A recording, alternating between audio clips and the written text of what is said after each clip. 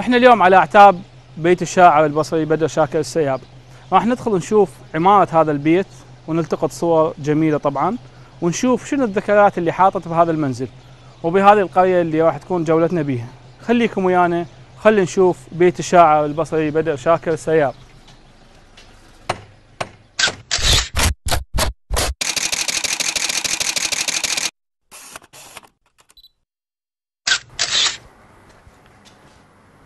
إحنا اليوم في بيت الشاعر بدر شاكر السياب. هذا البيت يمتاز بالعمارة العربية القديمة وهو يكون مفتوح من الوسط وداير مداير هذه الحدود غرف يسكن بها أبناء هذا البيت. هذا البيت يمتاز بالعمارة العربية القديمة يمتاز بهذه الأعمدة التي تسند هذا البيت راح يكون هنا تصويرنا جدا متميز. عندنا لقطات جدا جميلة هسه راح ناخذها. تعتمد على التركيز على التصوير المعماري لهذا المكان. راح ناخذها بحرفية. عندنا جدا زوايا بهذا البيت. نتمنى أن يدركنا الوقت وناخذها راح نبدي بهذه اللقطة اللي هنا. إحنا اليوم بمنتصف الشهر العربي. عندنا القمر نصف آه، بالضبط. آه، عجبتني هذه اللقطة اللي راح أخذها هنا. هذه الفوانيس القديمة اللي آه، بعد إعمار هذا البيت خلوا هذه هذا الطابع الإسلامي العربي القديم في هذا البيت. فهذا البيت يعتبر كمتحف لمقتنيات الشاعر بدر شاكر السياب. مثل ما جاي تشوفون هنا هذه الغرفة هذه الغرفة هي صومعة بدر شاكر السياب اللي كان يجلس بها يكتب بها أشعاره يدرس بها أتم دراسته ومحاضراته وتفكيره في أوقة هذا البيت. خلينا ناخذ هذه اللقطة.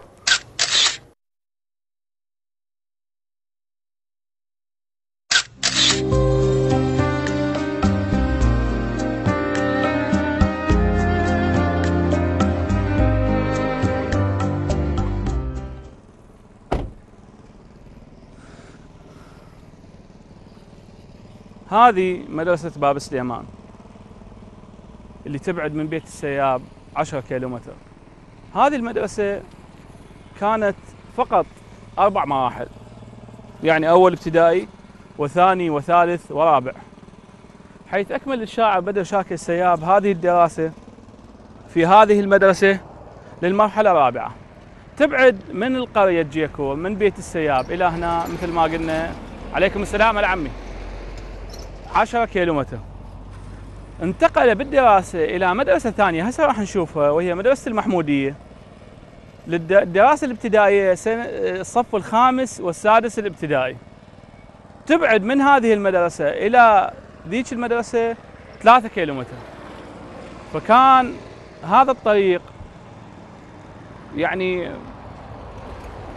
هو اللي صنع أو أوحى للشاعر بدر شاكر السياب للتجول في هذه البساتين. هذه القرية قرية جيكو هي مسقط رأسه اللي كانت تمتاز ببساتين العنب والنخيل. فتخيلوا أنتم شلون يمشي بهذا الطريق اللي كله بساتين. وراح نعبر على جسر جدا قديم. معروف عند أهالي أبو الخصيب بجسر الخشب اللي هو هسه هدم وصار بداله جسر حديدي. هسه راح نشوفه. خليكم ويانا متابعين.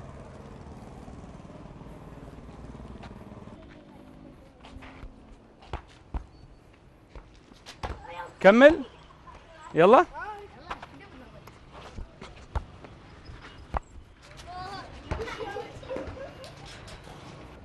مثل ما شفت اليوم إحنا مشينا بهذا الزقاق. هذا الزقاق في منطقة باب سليمان. سميت هذه المدرسة اللي كنا يمها مدرسة باب سليمان أسوة بهذه المنطقة. هذا الجسر يسمى جسر الخشب اللي كان يربط مناطق أبو الخصيب مثل منطقة باب سليمان وقرية جيكو بمركز القضاء قضاء أبو الخصيب. مثل ما شفنا هنا ألفة. الأطفال حلوين مرتاحين. جاي لعبناهم طابة شوية مثل ما تشوفون جاي نهت طبعا هنا ما أوصف لكم المناظر إيش قد جميلة. عندنا هنا لقطة جدا جميلة انعكاس. لقطتنا لأن إحنا إحنا اليوم من حكينا بالشعب بدر شاكر السياب أخذنا شجون الذكريات. فأصبح كلامنا كلام وثائقي. نرجع وندخل تقنية التصوير الفوتوغرافي بهذه الطبيعة. هذا التصوير يسمى بتصوير ال landscape. تصوير ال landscape هو تصوير المجسمات وانعكاسها بالماء ولازم يكون بهذا التصوير تصوير الطبيعة. شنو اللي يمثل الطبيعة؟ هي الخضرة الأشجار الحشائش الماء السماء. راح ناخذ عندنا لقطات هنا من ضمنها راح تكون هذه اللقطة. لاندسكيب أثرية. ليش؟ لأن هذه الشناشيل منعكسة بهذه المياه الصافية الهادئة الدافئة بدفء هذا الجو. راح ناخذ هذه اللقطة عندنا منها. وعندنا لقطة جدا جدا متميزة وجميلة. راح نشوفكم مدى هذا الجمال في هذا القضاء. خليكم ويانا وشوفوا هاي اللقطة. طبعا هنا عندنا لقطة كلش حلوة. هذا الانعكاس مثل ما إن شاء الله راح تشوفونه بهذه الصور. نتمنى إن آه، تنال على إعجابكم. إحنا يعني من خلال موقعنا لبرنامج لقطة الكثير من الأسئلة والتساؤلات قالت أنتم ليش ما حكيتوا أو البرنامج بصورة عامة؟ لأن أنا أمثل البرنامج. ما أمثل نفسي. البرنامج ليش ما أتكلم عن التصوير بصورة أكاديمية؟ إحنا حبينا نشوفكم. هذه الجولات الجميلة من مناطق البصرة. وراح نستمر إن شاء الله بجولاتنا. وندخل ندخل بها آه، تقنية التصوير ومفاهيم التصوير وقواعد وأسس التصوير على هذه المناطق. هسه هنا عندنا تصوير لاندسكيب مثل ما شرحنا لكم. راح نفتح من هنا عندنا همينه لقطة جدا جميلة انعكاس النخيل والماء والزوارق اللي هي وسيلة التنقل عبر الماء وانعكاسه في هذا النهر الهادئ. يعني آه، دائما تصوير اللاندسكيب يؤخذ بالتعريض الضوئي. هنا من قد صفاء الماء ما راح ناخذ تعريض ضوئي راح ناخذ نضبط كاميرتنا بسرعة اعتيادية وناخذ هذه اللقطة بدون تعريض ضوئي حتى التعريض الضوئي شنو فايدته؟ خصوصا بالمناطق اللي بيها ماء يعني مثلا الشلال النهر آه، آه، مدة الزمن هو شنو التعريض الضوئي؟ هو زمن أخذ الصورة راح يكون زايد مع مراعاة الآيزو ومراعاة فتحة العدسة حتى لا تأثر إذا كان بالليل أو بالنهار لها إعدادات معينة. بس هنا نرجع للفائدة مثل ما قلنا فائدة التعريض الضوئي راح نأخر الزمن يعني نخلي الصورة تكون لها زمن 15 ثانية 8 ثواني 6 ثواني أو نوبات تمتد إلى 20 ثانية حتى يكون أكو جريان الماء. بهذا بهذه الفترة الزمنية راح يكون انسيابية بالماء كأنما الماء يكون مثل الماءات العاكسة. هذه الحالة هنا العفو تفضل. عليكم السلام حياك الله. هلا بيك. هلا بيك. شلونك؟ مثل ما تعرفون هذا الماء اليوم صافي. أصلا هو صاير بيه تعريض ضوئي من قاعة راح ناخذه إن شاء الله. إحنا اليوم مرتاحين متونسين. هاي الأهالي سلم علينا ولعبنا مع الأطفال. تفضل تفضل. فإحنا على راحتنا وياكم. وأنتم ويانا مرافقينا بعدسة قناة البصر. تعالوا نكمل هاي اللقطة. بس خلي ثاني الأخ يتعدى. الله يساعدك. شلون الصحة؟ قالك شلون هذا الجسر؟ من يمتى هذا الجسر؟ جسر الخشب. عيني من فكيت عيني والد أنت ولادتك هنا قراب الخصب إي ولادتي هنا إي. وهذا الجسر قديم هنا اي قديم. تفلش وبعدها محافظ على ذكرياته وأرثه. نعم عندك ذكر بهذا الجسر مثلا جاي سابح هنا؟ لا والله سبحة ما بس كنا من كنا بالمدرسة هنا نجي نقعد هنا. أنت كنت بمدرسة باب سليمان؟ إي بالضبط. تعرف هاي المدرسة هي اللي كان بها الشاعر بدر شاكر السياب؟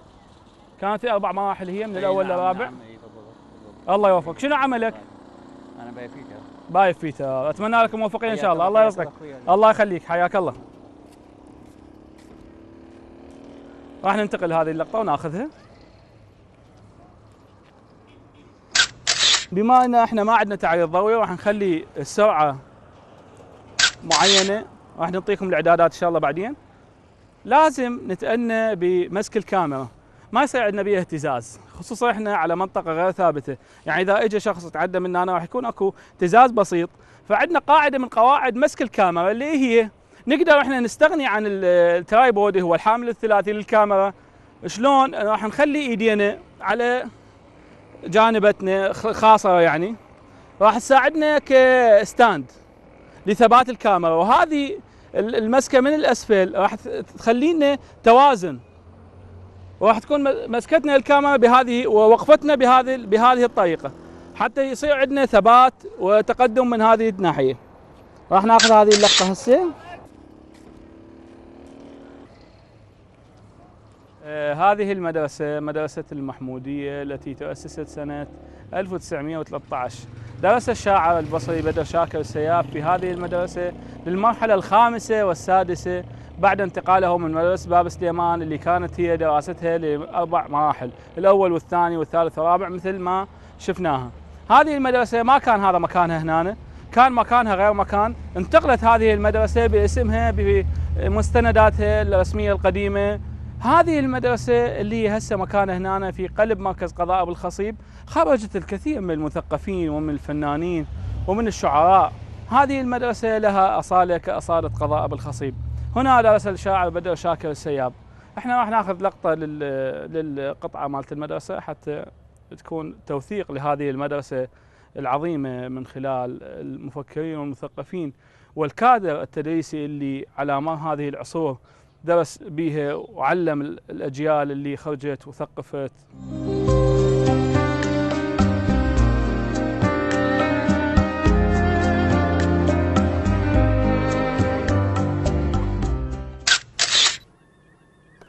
إحنا اليوم بقرية جيكو. هذه القرية التي ولد بها الشاعر بدر شاكر السياب. تمتاز هذه القرية بكثرة الأنهر وكثرة بساتين النخيل. كانت هذه القرية تح تحتوي على الكثير من بساتين العنب والنخيل. سميت بقرية جيكو بهذا الاسم لمعنى هذا الاسم هو الجدول العالي. ما الجدول العالي معناها ارتفاع مناسيب شط العرب بالمد والجزر.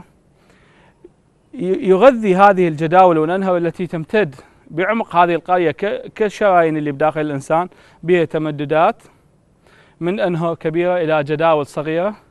تغذي هذه المنطقة وتغذي هذه البساتين وإحنا نعرف المناطق التي تكون بمنطقه مناطق الدلتا اللي تحتوي على الماء من الجانبين. هي هذه المناطق المثالية للزراعة. فكثرة الزراعة وكثرة البساتين امتازت في هذه المنطقة. هذه الأجواء أوحت للشاعر بدر شاكر السياب لهذه الأبيات وهذه الأشعار. هذا المكان هو اللي خلق روحية بدر شاكر السياب. راح ننتقل إحنا من هذه البساتين الجميلة اللي كان الشاعر بدر شاكر السياب يتمشى هنا ننتقل إلى نهر بويب وجسر بويب اللي حير العالم بتغزل الشاعر بدر شاكر السياب لهذا النهر خليكم متابعينا من قرية جيكو قضاء بالخصيب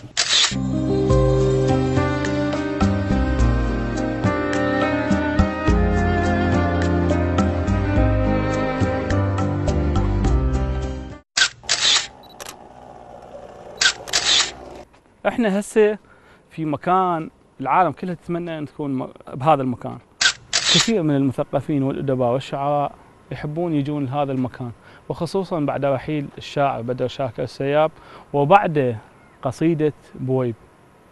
قصيدة بويب اللي تغزلت بهذا النهر هذا النهر يحوي على الكثير من الذكريات لهذا الشاعر. إحنا لجمالية هذه المنطقة وجمالية هذه القرية حبينا ان تكون حلقتنا هنا حلقة فوتوغرافية من برنامج لقطة وأيضا نتحدث عن الاسم اللامع لهذه القرية اللي خلى هذه القرية يوصل صيتها إلى الكثير من البلدان العربية والعالمية. القصيدة وأبيات هذه القصيدة عبارة عن صور تتلى من خلال هذه القصيدة. يعني الإنسان ليش جمال وسلاسة شعر السياب؟ لأن كل ما تسمع بيت شعر وشطر من هذه الأشطر تجي ببالك صورة فالصورة جدا مهمة. الصورة تدخل بالشعر الصورة تدخل بحياتنا اليومية. أصلا إحنا عبارة من نقول إحنا نريد نتذكر راح نتذكر الصور اللي بداخلنا. فإحنا حياتنا كلها عبارة عن صور. أكو كثير من الأبحاث وكثير من الدراسات التي تهتم بالجانب الصوري. الصورة هي المؤثرة. راح نشوف هذا النهر بعد الفاصل.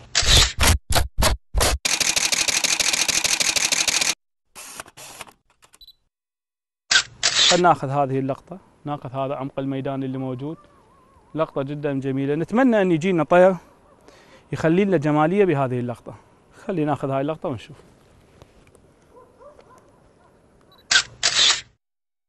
مثل ما قلنا راح ناخذ هذه الصورة بعمق الميدان اللي موجود على من, من هذا النهر نهر بويب. هذه اللقطة تمتاز بعمق الميدان. عمق الميدان هو النقطة الأخيرة اللي راح يكون الفاصل بينها الفوكس. بين الوضوح وعدم الوضوح. خلينا ناخذ هذه اللقطة هنا. نتمنى لو يدعمنا ويسعف هذه الصورة الجميلة. طير يعني كان اكتملت ملامح هذه الصورة لتصوير الطبيعة. تصوير الطبيعة يعتمد على الطبيعة. اللي هسه موجودة عندنا الخضار هنا اللي موجود من الأشجار من الماء من الانعكاس. نتمنى بعد وجود الحياة المتحركة حتى يصير عندنا أكشن بالصورة. خلينا ناخذ هذه. هذه هنا عندنا حركة شوية.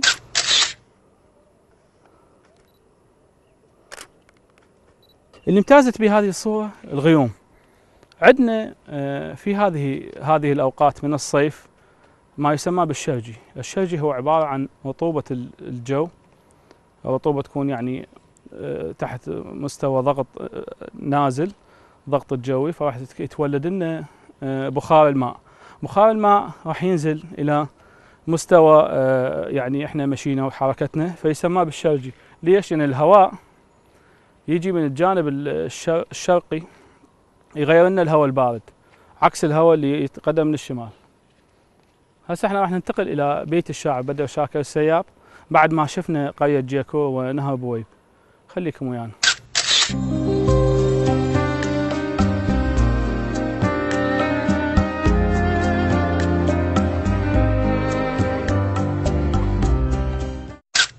طبعا يعتمد التصوير العماني على العدسات الوايد. أي العدسات التي تكون بزوايا منفرجة أكثر حتى تأخذ لنا أكثر عدد من الكادة. ويمتاز التصوير المعماري بالتوازن بالصورة. يعني عندنا إحنا هذه الأعمدة يجب أن تكون مطابقة لخطوط قاعدة الثلث حتى نقدر ناخذ ونشتق من عندها الخطوط المستقيمة. عندنا هنا يعني تكوين عبارة عن مجموعة من المثلثات والمربعات اللي هي تكون لنا الهندسة. يعني عندنا زوايا. هسه خلي ناخذ هذه آه، عجبتني هذه اللقطة. خلينا ناخذها. راح ننتقل وياكم طبعا وتشوفون هذه اللقطات الهندسية اللي راح ناخذها.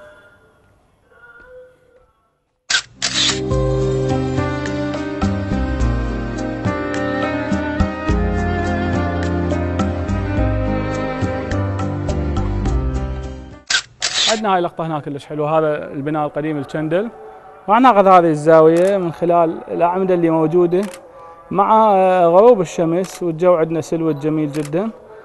كثرة الأعمدة هنا اللي موجودة مع أقواس الشبابيك اللي موجودة شكلتنا كادر كل جميل هندسي. راح ناخذ لقطة هنا طبعا لهذا المسقف بيت كامل يحتوي على الذكريات جميلة وين ما تروح. تجد بصمة للشاعر بدر شاكر السياب من خلال الأشكال الهندسية اللي موجودة. راح ننتقل هسه وياكم هنا للمتحف الخاص ب الشاعر بدر شاكر السياب اللي بيه طبعا بعض الكتب وبعض الصور القديمة. وهذا المكان في طور التحديث راح يعني راح يكون أكو بعد اهتمام أكثر ونتمنى أن يكون أكو اهتمام حتى آه، يصير صدق متحف. يعني يكون به مقتنيات بقصائد مطبوعة. أكو لوحات بعض الرسامين اللي متأثرين بهذا الشاعر رسموها خلينا ننتقل لها ونشوفها.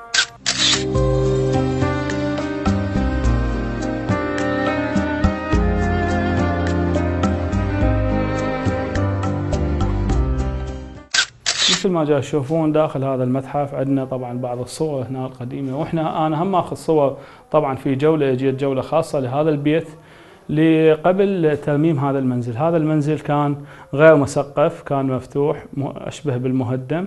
وعاد ترميمه مثل ما جاي تشوفون هسه. آه، أكو هنا حاطين بعض الصور خلال آه، مسيرة العمل بترميم هذا البيت. كان البيت آه، مهدم. تم صيانة هذا البيت على أيدي بعض المختصين. وأشير بالذكر إلى الأخ العزيز الصديق من محافظة السماوة أبو عباس الورد اللي هو آه، كان من المختصين في إعادة ترميم الطابوق الأثري. هو طبعا كان يعمل في الآثار الأردنية آه، واكتسب هذه الخبرة من آه، من خلال عمله خارج القطر بهذه الآثار. ونقل لنا هذه الخبر. نتمنى أن تكون هذه تجربة لكل اللي جاي يسمعونا من مسؤولين من ناس عندها اهتمام بالفن والثقافة أن يشجعون الناس على أن يطلعون ويجيبون لنا خبرات. يعني إحنا جاي نعاني من هذه القضية. صح إحنا هسه برنامجنا فني ثقافي وثائقي بس إحنا لازم نركز لأن هذا هم من همومنا. بأن إحنا يكون عندنا عقول مفكرة.